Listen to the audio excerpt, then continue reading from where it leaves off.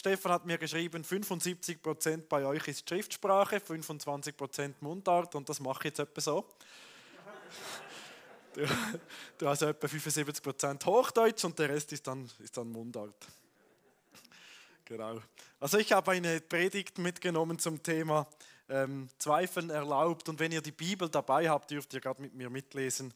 Johannes 20, Vers 24 bis 29. Johannes 20 ab Vers 24, da steht, Thomas aber, der Zwilling genannt wird, einer der zwölf, war nicht bei ihnen, als Jesus kam. Da sagten die anderen Jünger zu ihm, wir haben den Herrn gesehen.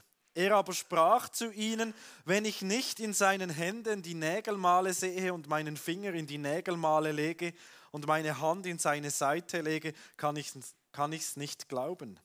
Und nach acht Tagen waren seine Jünger abermals drinnen versammelt und Thomas war bei ihnen. Kommt Jesus, als die Türen verschlossen waren und tritt mitten unter sie und spricht, Friede sei mit euch. Danach spricht er zu Thomas, reiche deinen Finger her und zieh meine Hände und reiche deine Hand her und lege sie in meine Seite und sei nicht ungläubig, sondern gläubig. Thomas antwortete und sprach zu ihm, mein Herr und mein Gott. Spricht Jesus zu ihm, weil du mich gesehen hast, Thomas. Darum glaubst du. Selig sind die nicht sehen und doch glauben. Steht hier zu Beginn Thomas aber, der Zwilling genannt wird. Thomas ist aramäisch und heißt auf Deutsch übersetzt Zwilling. Und man nannte ihn auf Griechisch Didymos und das heißt auf Deutsch übersetzt Zwilling. Ähm, ja, also vielleicht war er Zwilling. Ich weiß nicht von seinem Zwillingsbruder, vielleicht hat er eine Zwillingsschwester, keine Ahnung. Jedenfalls dieser Thomas, der wird im Johannesevangelium viermal erwähnt. Zum Beispiel in Johannes 11, Vers 16 sagt Thomas, ja, lasst uns mitgehen und mit ihm sterben. Sehr fatalistisch so, dieser Thomas. Ein bisschen später sagt er, Herr, wir wissen nicht, wo du hingehst. Wie können wir den Weg wissen? Dann sagt Jesus, ich bin der Weg, die Wahrheit und das Leben. Und auch hier in Johannes 20 erscheint Thomas nicht im besten Licht. Er war nämlich nicht dabei. Nachdem Jesus ja gestorben ist, auferstanden ist, hat er sich den Jüngern wieder gezeigt und Thomas war nicht bei ihnen, als Jesus kam. Ich habe mich gefragt, ja, wo war denn Thomas? Warum war der nicht dabei? Manche Ausleger nehmen an, dass Thomas mit dem Schmerz alleine umgehen wollte, dass er die Gemeinschaft nicht ertrug? Ich weiß es nicht. Aber ich möchte den Umstand, dass Thomas hier nicht bei den Gläubigen, bei den Jüngern ist, nutzen, um uns daran zu erinnern, wie wichtig Gemeinschaft ist. Ich meine, gerade in dieser jetzigen Zeit ist es ganz wichtig, dass wir uns daran erinnern, was zum Beispiel der der Hebräerbriefschreiber schreibt in Hebräer 10, 25. Da steht ja, deshalb ist es wichtig, unsere Zusammenkünfte nicht zu versäumen, wie es sich schon einige angewöhnt haben. Wir müssen uns doch gegenseitig ermutigen. Spezieller Vers in einer Zeit, in der man nicht mehr zusammenkommen darf, oder? Und ich habe mir so überlegt, vor einem halben Jahr, als da voll alles zu war, so ein Virus, ist vielleicht die einzige Kraft im ganzen Universum, die es fertig bringt, dass Christen sich nicht mehr zum Gottesdienst versammeln. Ich meine, wenn Verfolgung ist, trifft man sich im Untergrund. Wenn äh, Krieg ist, dann trifft man sich trotzdem noch, vielleicht ohne diejenigen, die an der Front sind. Wenn ein Virus, nicht mal sichtbar für uns Menschen, dann versammeln wir uns nicht mehr. Und ähm, ich meine, das müssen wir natürlich so machen. Und ich habe schon gedacht, das ist schon heftig, was das für eine Kraft ist, dieses Virus. Und ich möchte uns daran erinnern, dass wir Gemeinschaft brauchen, auch wenn es physisch nicht möglich ist. Dass wir irgendwie Gemeinschaft nutzen. Vielleicht, dass wir einander telefonieren in der jetzigen Zeit, einander schreiben, ein Mail, ein Brief, oder vielleicht halt im kleineren Rahmen. Im Moment ist ja noch sehr vieles möglich. Ich weiß nicht, was nächste Woche wieder Neues verkündigt wird. Ich persönlich, ich bin kein Prophet. Aber ich sage bei uns, ich rechne mit stärkeren Maßnahmen noch in den nächsten Tagen. Ja, und dann gibt es ja die digitalen Möglichkeiten, da sind wir jetzt unterdessen gut darin, so Zoom und all das Zeugs da. Und äh, ja, ich bin jung, oder? Ich finde das noch, noch okay so. Aber ich sage immer bei uns, diese digitalen Dinge, das sind vielleicht so wie Krücken. Ich nehme an, die meisten mussten schon mal mit Krücken gehen. Und ich kenne jetzt niemanden, der mit Krücken geht, wenn er normal gehen könnte. Also das, ja, und ich sage so, die digitalen Möglichkeiten sind wie so Krücken. Sie helfen uns, bis es wieder richtig vorwärts geht. Und deshalb ermutige ich euch, nutzt alles, was irgendwie geht. Aber wir freuen uns, wenn es dann wieder richtig, ja, wenn wir wieder alle, alle zusammen hier sein können, zusammen singen dürfen. Ja. So mein Anliegen. Habt maximal mögliche Gemeinschaft. Im Moment ist das vielleicht mit zwei Familien oder wie auch immer. Habt maximal mögliche Gemeinschaft, vielleicht digital, telefonisch mit Kärtchen. Und dann, sobald wieder möglich ist, nutzt die Möglichkeit, auch physisch zusammenzukommen. Also ich habe ja damals vor einem halben Jahr gedacht, wenn wir dann wieder zusammenkommen können, dann freuen sich alle und dann sind wir alle wieder da und habe gemerkt, da kommen ganz viele gar nicht mehr. Ja, mein Anliegen ist so, das ist wirklich ein tiefes Anliegen von mir, dass wir jetzt diese Krücken nutzen, um dann mit einem möglichst gesunden Glauben aus dieser Krise wieder hervorkommen. Also Thomas war nicht dabei, warum auch immer. Vielleicht sind auch gewisse Menschen nicht mehr in der Gemeinde, weil sie so enttäuscht sind. So wie Thomas. Vielleicht enttäuscht von Gott, enttäuscht von anderen Gläubigen, vielleicht enttäuscht vom Pastor, enttäuscht von der Gemeindeleitung, enttäuscht von Christen. Denen will ich nichts mehr zu tun haben. Thomas war nicht dabei. Ich lese weiter, Vers ähm, 25, da sagten die anderen Jünger zu ihm, jetzt ist er wieder da, wir haben den Herrn gesehen. Also wer, wer nicht dabei ist, der verpasst etwas. Wir haben den Herrn gesehen. Er aber sprach zu ihnen, wenn ich nicht in seinen Händen die Nägelmale sehe und meinen Finger in die Nägelmale lege und meine Hand in seine Seite lege, kann ich es nicht glauben. Thomas sagt, also wenn ich nicht meinen Finger in seine Wunden hineinlegen kann, dann glaube ich es nicht, dass er euch begegnet ist, dass er auferstanden ist. Thomas zweifelt. Thomas zweifelt. Und meine Frage hier ist, dürfen Christen zweifeln? Und ich habe mir das so überlegt und habe so festgestellt, dass ich so die christliche ja, Gesellschaft, ich nenne es mal die evangelikale Welt in unserem Fall, da zähle ich mich jedenfalls dazu, ich nehme uns ein bisschen gespalten wahr in dieser Frage des Zweifelns.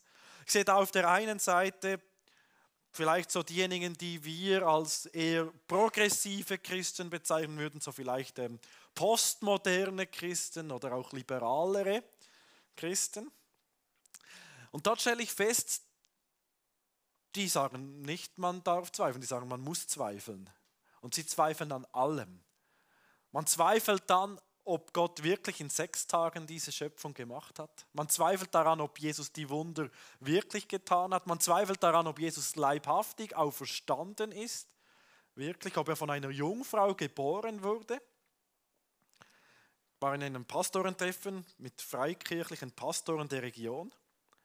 Da gab es einen Kollegen, und wir haben so diskutiert, auf welcher Grundlage arbeiten wir zusammen, treffen wir uns. Und dann sagt er, ja, also er glaube nicht daran, dass diese Wunder alle historisch passiert sind in der Bibel.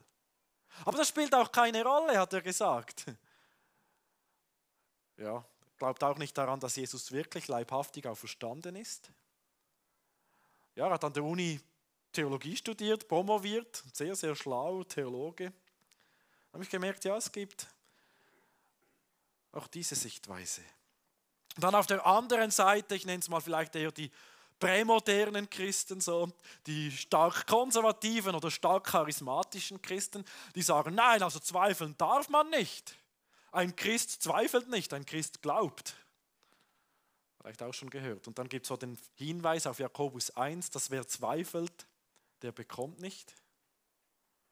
So meine Frage ist, wo ist jetzt die Wahrheit? Und wenn ich die Bibel betrachte, dann stelle ich fest, dass die Bibel einen sehr differenzierten Umgang mit dem Thema Zweifel hat. Da haben wir auf der einen Seite Beispiele, wo Zweifler sehr negativ bewertet werden. Denk hier an Mose, der zweifelte an seiner Begabung. Und mir, wenn ich das so lese, habe ich so den Eindruck, irgendwann einmal jetzt Gott wieder Deckel geklopft. So, ja, den halt, schickt er der Aaron. Der zweifelte. Oder dann die Kundschafter, zehn der zwölf Kundschafter zweifelten daran, dass Gott. Und was macht Gott? Er lässt das ganze Volk 40 Jahre in der Wüste umherirren. Oder ich denke an den Zweifel des Zacharias. Ja, unmöglich kann meine Frau noch schwanger werden. Wird gerade stumm. Sehr negativ. Es erscheint uns so, als darf man eigentlich nicht zweifeln. Dann andererseits sehe ich aber Maria. Kommt der Engel und sagt, du wirst schwanger werden. Und sagt Maria, wie soll das gehen? Sie zweifelt. Dann sagt der Engel, ja, der Heilige Geist wird über dich kommen. Und sie, okay, mir geschehe, wie du gesagt hast, ich bin des Herrn Magd. Sie hat gezweifelt und es, äh, sie wird nicht getadelt für ihren Zweifel. Und ich merke so, es gibt wie unterschiedlichen Zweifel. Ich nenne den so auf der einen Seite den suchenden Zweifel und auf der anderen Seite den ablehnenden Zweifel. Manche sagen dem auch den Zweifel der Voreingenommenheit und den Zweifel der Unvoreingenommenheit. Also der suchende Zweifel, das sind Menschen, die suchen die Wahrheit.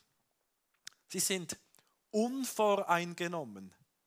Sie stellen Fragen, sind aber offen zu glauben. Und dann gibt es den ablehnenden Zweifel, also den Zweifel der Voreingenommenheit. Man weiß eigentlich schon, dass es eben nicht so ist und sagt, ich zweifle daran und ist gar nicht offen für, eine, für die Wahrheit oder dass es eine Antwort gibt.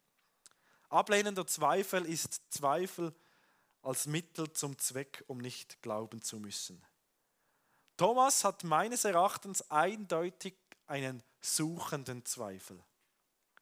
Er zweifelt, dass Jesus auferstanden ist, aber er ist offen, doch zu glauben, wenn sich Jesus ihm zeigt. Und wir sehen dann auch, als Jesus sich ihm gezeigt hat, sagt Thomas, mein Herr und mein Gott. Und er glaubt. Ich möchte heute Morgen ermutigen, die eigenen Zweifel offen vor Gott auszubreiten in einem suchenden Sinn. Ich bin überzeugt, dass jeder Mensch, auch jeder Gläubige, Zweifel in seinem Leben kennt, wenn er ganz ehrlich ist vor sich selbst. Jeder Mensch kennt Zweifel.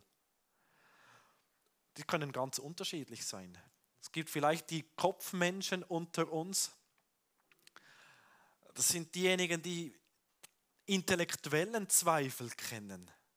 Vielleicht sitzt du heute hier, sitzen Sie heute hier und denken, das kenne ich. Ich stelle mir schon durchaus die Frage, wie hat denn Gott das gemacht bei der Schöpfung? Wie passt das mit den naturwissenschaftlichen Erkenntnissen der Evolution und so zusammen?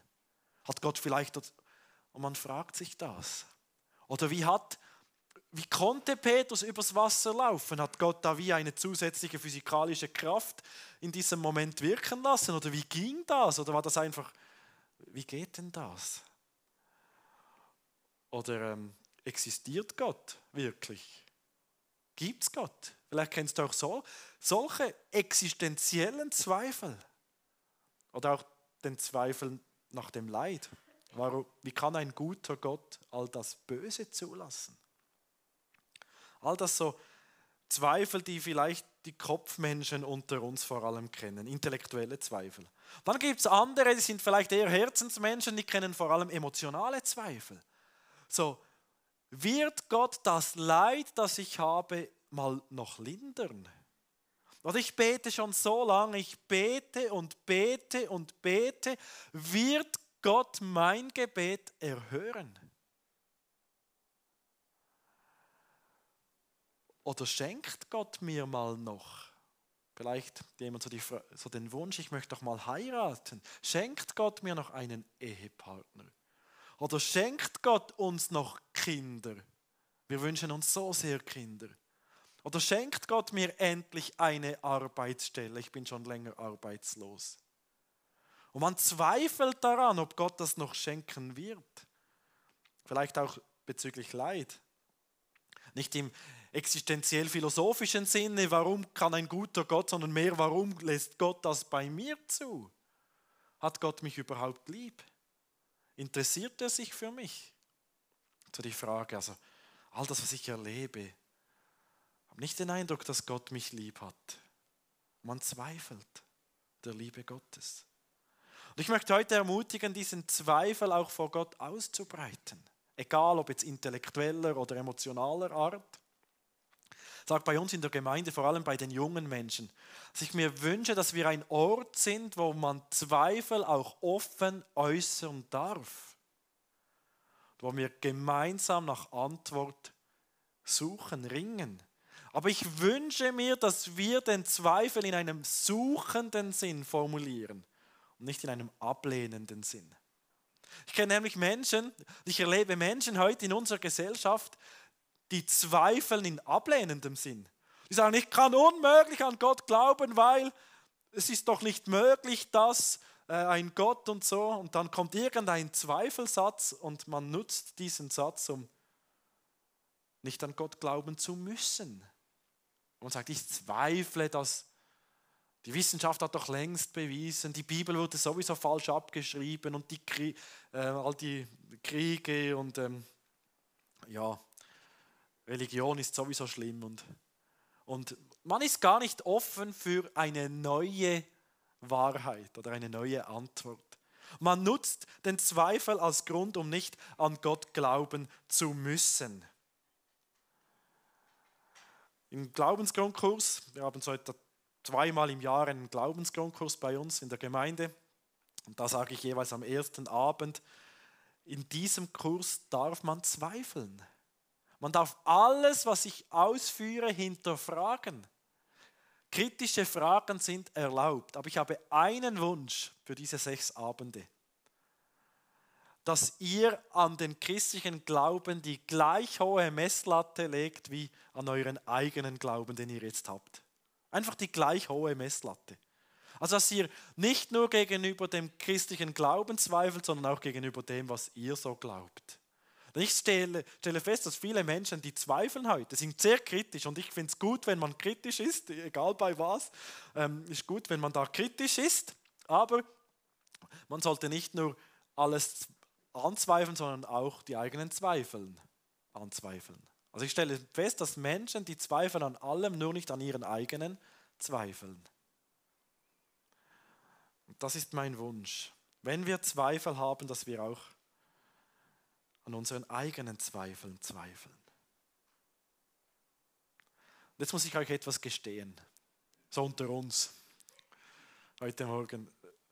Thomas ist mein Lieblingsjünger. Ja, also, also zumindest sehr, sehr hoch im Kurs bei mir. Ich weiß nicht, welchen Lieblingsjünger ihr habt, wenn ihr einen habt. So, manche sagen Petrus, der richtig im Schuss war, oder Johannes, der durfte am nächsten bei Jesus liegen, oder der Philippus, der hat immerhin das Geld ein bisschen ausgeben und der Judas konnte es bei sich haben. Und ich weiß nicht, welcher euer, euer Lieblingsjünger ist. Meiner ist Thomas, weil ich kenne Zweifel. Und ich glaube, es gibt kaum einen Zweifel, den ich nicht schon hatte, intellektueller Art. Ich bin vielleicht auch eher so der Kopfmensch so. Und ich kenne diese Zweifel, dass ich mich ernsthaft frage, ja, wie ist denn das? Und es gab mal den Moment, da habe ich ernsthaft in Frage gestellt, dass Jesus von den Toten leibhaftig auferstanden ist. Ich meine, ich bin Pastor, oder? Ich habe mich das wirklich gefragt. Warum? Weil ich habe die Bibel gelesen und stellte fest, man hat Jesus nicht mehr gekannt nach seiner Auferstehung. Die besten Freunde, denkt, das ist der Gärtner. Die Jünger nach Emmaus, äh, Zwei Stunden liefen die mit dem und er kannte ihn nicht. Da ist doch naheliegend, dass derjenige, der sich da, ähm, der da Jesus, sich als Jesus ausgibt, oder? Dass das irgend sonst jemand ist. Und jetzt kommt Thomas. Und Thomas hat für mich gezweifelt. Er hat gesagt, und wenn ich nicht meine Finger in seine Wunden legen kann. Denn es gab damals wahrscheinlich im ganzen Universum keinen einzigen Menschen, der herumlief mit Wunden, außer Jesus, so mit Nägelmalen. Und Thomas hat gesagt, und wenn ich meine Finger in seine Wunden hineinlegen kann, in seine Nägelmal, in seine Seite, dann glaube ich, es ist wirklich Jesus. Thomas hat also an meiner Stelle gezweifelt. Und er hat für mich bewiesen, dass wirklich Jesus hier derjenige war, der sich ihnen gezeigt hat. Und dass sie da keine Halluzinationen oder so hatten. Noch etwas darf man Zeichen fordern von Gott? Ich persönlich meine ja, man darf. Aber wir haben kein Anrecht darauf, dass Gott uns das Zeichen gibt. Ich habe manchmal so den Eindruck, wir Menschen sind schon unglaublich arrogant, oder? Sagen, Gott, wenn du nicht. Unglaublich vermessen, so als wären wir in der Position Gottes und Gott in der Position des Menschen, dass er sich uns beweisen müsste. Und wir können uns danach sehnen, sagen, schenke Gott, ich möchte dich erleben, ich möchte dich erfahren. Und dann schenkt Gott vielleicht ein Zeichen, vielleicht auch nicht. Die Frage ist auch, sehne ich mich nach einem Zeichen in einem suchenden oder in einem ablehnenden Sinn? Ich sage, also solange ich kein Zeichen bekomme, werde ich nicht an dich glauben. Dann glaube ich, gibt es kein Zeichen. Aber wenn ich sage, Jesus, ich ringe darum, ich möchte dich erleben, dann höre ich sehr oft, dass Gott sich gezeigt hat, denn wer sucht, der findet. Letztlich aber geht es gar nicht um die Zeichen. Ich habe hier noch etwas Spezielles festgestellt, dass ich diesen Text ausgelegt habe. Nämlich, ist dann, Jesus kam ja nach acht Tagen wieder durch die verschlossene Tür. Und dann geht er direkt zu Thomas, Vers 27, und sagt ihm, reiche deinen Finger her und zieh meine Hände und reiche deine Hand her und lege sie in meine Seite und sei nicht ungläubig, sondern gläubig. Und jetzt, was macht Thomas? Und ich glaube, hier wird nichts ausgelassen, sondern er macht wirklich nichts, außer dass er antwortet und spricht, mein Herr und mein Gott. Ich glaube, dass als Jesus zu ihm kam und ihm genau die gleichen Worte sagte, die er vorher gesagt hat, da fällt Thomas auf seine Knie und sagt, mein Herr und mein Gott, er will jetzt gar nicht mehr seine Finger hineinlegen. Das Wort von Jesus genügt ihm. Gottes Wort genügt. Und ich stelle mir so vor, wie Thomas auf die Knie fällt und sagt, mein Herr und mein Gott. So mein Herr, mein Kyrios, mein Chef. Chef ist ja lateinisch und die Lateiner unter uns wissen, das Wort Chef kommt vom lateinischen Wort kaputt. Also nicht mit kaputt oder so, sondern kaputt ist unser Haupt. Klar, das Haupt kann manchmal auch kaputt. Aber auf jeden Fall kaputt ist Haupt und davon abgeleitet ist Chef.